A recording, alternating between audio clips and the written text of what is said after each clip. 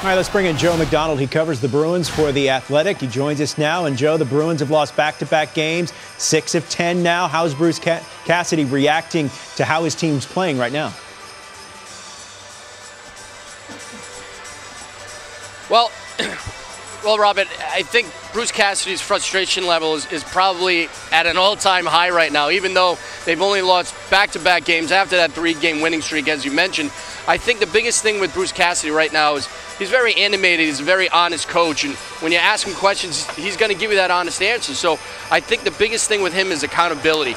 He's given these young guys an opportunity to be successful. He's put them in a position to be successful, and I don't think he's getting and I don't think he's getting it back. And simple things, as Brandon Carlo just mentioned, they have to get back to playing that simple style of game. And they haven't been able to do that. Maybe they're squeezing their sticks a little too hard, but as of right now, you can tell that Bruce Cassidy is a little frustrated with his team. And certainly it doesn't help that you have guys like Patrice Bergeron, Zdeno Chara, Kevan Miller, Jake DeBrusk out of the lineup due to injury. But the guys that are on the ice on a nightly basis, Bruce Cassidy expects them to be at their best. If they don't have their A game, then they need to bring their B game. And that's not what he's seeing right now with this team. You mentioned Bergeron and Chara. They have been skating recently as they work their way back. When are they going to be back on the ice for game action? Yeah, Robert, the biggest thing right now, so Patrice Bergeron is probably a little ahead of Zdeno Chara right now. Uh, they're both skating on their own. Uh, there's a possibility that Patrice Bergeron could be back in the lineup next week. Uh, the biggest thing for Bergeron right now is to practice, uh, full practice with the team, uh, and then also obviously uh, some contact. But he's not at that point yet. But they're expecting maybe at some point this week he will be able to held, will be able to have that full practice with that contact. Zdeno Chara is a little further behind Patrice Bergeron. Uh, Kevan Miller, he's still a long ways off, but he is skating. Uh, Jake DeBrusk is not skating. Uh, he's going through the concussion protocol. So once they have everybody back, because they've they've been dealing with this the entire season. Uh, Bruce Cassidy hasn't had his full, you know, lineup that they expected to have at the mm-hmm. start of the year on a consistent basis. So once they get all these guys back, obviously then Don Sweeney will have a better idea of what type of team the Boston Bruins have right now. Now, Jaroslav Halak has been a nice find for this team since coming over in free agency in the summer. How important is he to Boston as the team looks to uh, snap out of its current funk? Yeah, without a doubt, Robert. You know, Jaroslav Halak has been a huge addition to this team this year, and basically it gives Bruce Cassidy a 1A, 1B goalie uh, tandem.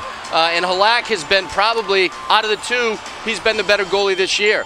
Uh, the one thing that he does is he also he pushes Tuukka Rask a little bit. There's that internal competition, uh, but without a doubt, Halak has played very well for the Boston Bruins this season, and certainly given the back-to-back situations, Bruins playing at home yesterday against Buffalo. Now, obviously, they're here in Montreal playing the Canadiens tonight. Halak will get the start, uh, and this is a place that has given Tuukka Rask fits you know, in the past, but Halak will get the start tonight, and they're going to need Halak to be atop of his game this evening, given the back-to-back situations. And you know that Montreal Canadiens are going to come out tonight, and they're going to want to bury the Boston Bruins early. So it's going to be up to Jaroslav Halak to do, to do his job tonight. Last one here for you, Joe. Scott Gordon named uh, interim head coach for the Philadelphia Flyers today. Uh, what's his connection to the Bruins?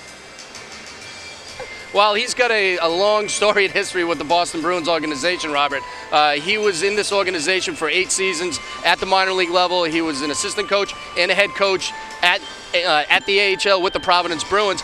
And the one thing we know about Scott Gordon is that he has a very good ability to get the best and the most out of very young players. He developed the likes of, helped develop the likes of Patrice Bergeron when he played that one season in Providence during the lockout. He helped David Krejci. He helped, uh, he helped a guy like uh, Tuukka Raskin, get my goalies messed up here. Uh, Tuukka Raskin certainly helped Tim Thomas develop into the NHL goaltender that uh, he eventually turned into and helped the Boston Bruins win the Stanley Cup in 2011. So the Philadelphia Flyers getting a, a good coach, and maybe that's what they need right now. They need someone that can can really have a connection with those younger players. A lot of those players that he had in Lehigh Valley. So it's going to be interesting to see what Scott Gordon can do with the Philadelphia Flyers because the Boston Bruins has seen it during his tenure here earlier in his coaching career, and he did a really solid job. So it's going to be interesting to see what he does in Philadelphia. Joe McDonald covering the Boston Bruins for The Athletic. Joe, we appreciate the time. Thanks.